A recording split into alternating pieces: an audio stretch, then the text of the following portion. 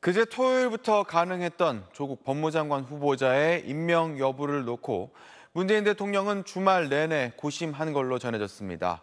여론과 함께 검찰 수사 상황, 또 임명 또는 철회 이후 전국 상황까지 이 숙고에 들어간 문 대통령의 결론은 이르면 오늘 알 수 있을 걸로 보입니다. 전병남 기자의 보도입니다.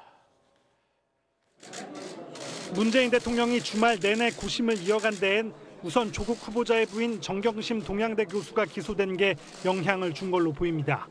청문회 그리고 임명제가란 절차 사이에 예상치 못한 이슈가 끼어들었기 때문입니다.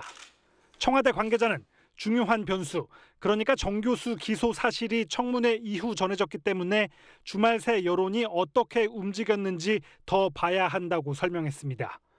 실제 청와대는 언론사 여론조사 결과들을 집중 분석했고 자체 여론조사도 함께 실시해 문 대통령에게 보고했습니다.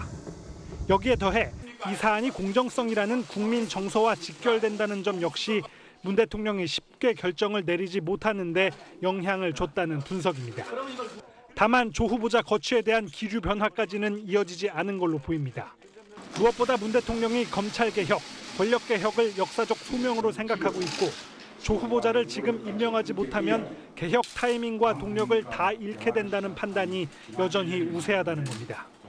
여권 고위 관계자는 검찰이 선을 넘으면서 조국 카드 철회는 더 어려워졌다고 말했습니다.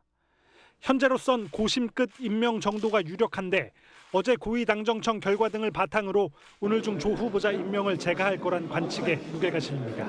SBS 전병근입니다.